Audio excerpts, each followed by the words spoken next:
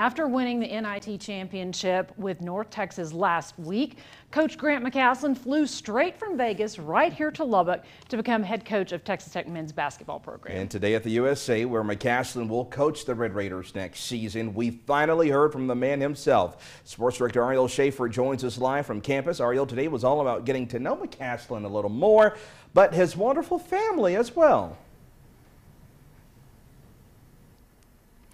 That's right, Terry and Matt. I mean, what a guy. After a month long process, Grant McCasland walked out at the USA for the first time in front of the entire Lubbock community as the 19th head coach in Texas Tech men's basketball history. Now, there was a lot of people in attendance today, including current Texas Tech head coaches, but also a few members of this year's past Red Raider basketball team. Now, one thing that Coach McCasland mentioned on repeat is how full circle a moment like this was for him, not just because this is a place where he started his basketball career, but to him, West Texas is home, and he's ready to build off the success and the culture that's been already established here in Lubbock.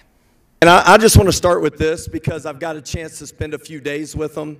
And these guys down here have waded through one of the worst um, waiting periods to, to get a new head coach.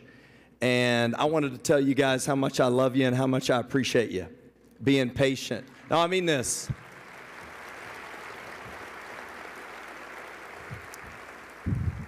Because God's called us all to something. And I know that our purpose is to pour our hearts into you guys every single day. You could definitely tell McCasland does wear his heart on his sleeve. And coming up a little bit later in sports, we'll kind of map out the blueprint and expectations Coach McCasland has for this program, but also what's expected in the players. But also, we'll talk a little bit about that hiring committee because it was a total team effort to get McCasland here. Signing off live at the United Supermarkets Arena, Ariel Schaefer, KLBK News, Terry and Matt, back to you. Ariel, thank you. Looking forward to hearing more about that.